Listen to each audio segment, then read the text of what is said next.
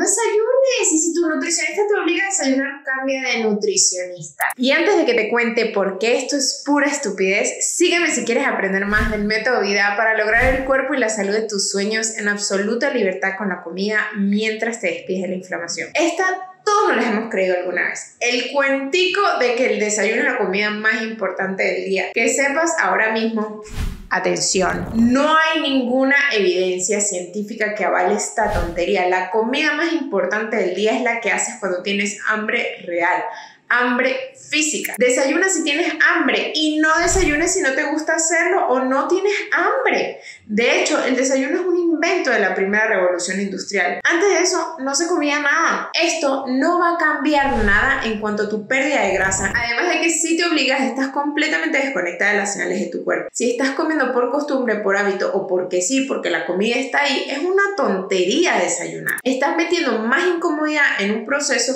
bien sea porque estás forzando a tu cuerpo a digerir cuando no está para ello o haciendo algo que no te gusta hacer. Además de que sumas más energía cuando probablemente no la necesitas. Deja de comer cuento. La única máxima para perder grasa, y escúchame atentamente, es el balance de energía.